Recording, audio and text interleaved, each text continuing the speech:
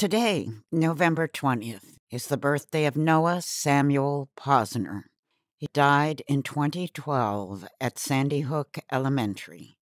The youngest victim that day, Noah had turned six just three weeks before the attack. The eulogy Noah's mom gave at his funeral is the best tribute. The sky is crying, and the flags are at half mast.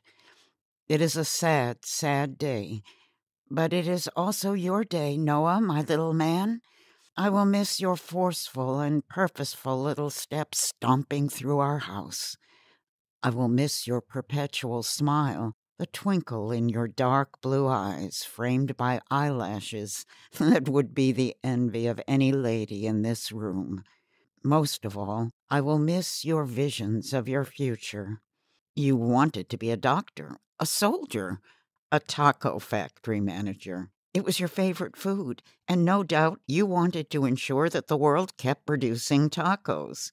You were a little boy whose life force had all the gravitational pull of a celestial body. You were light and love, mischief and pranks. You adored your family with every fiber of your six year old being.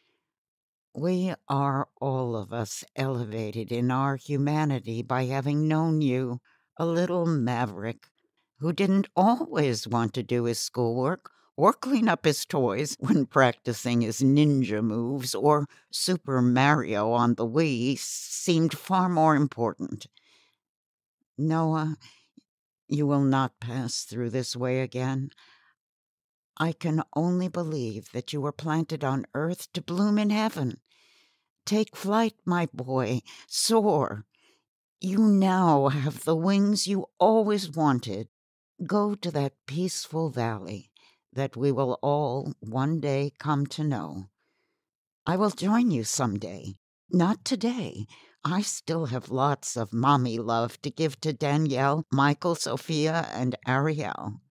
Until then, your melody will linger in our hearts forever. Mama loves you, little man.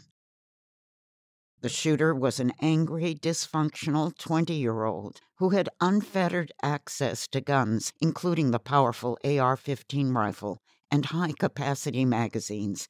He fired 154 rounds, ending 26 lives, including 20 young students and six staff members, in less than five minutes. He died at the scene of a self inflicted gunshot. Follow the link provided in the text to read a powerful article written by Noah's grandmother on the seventh anniversary of the Sandy Hook tragedy.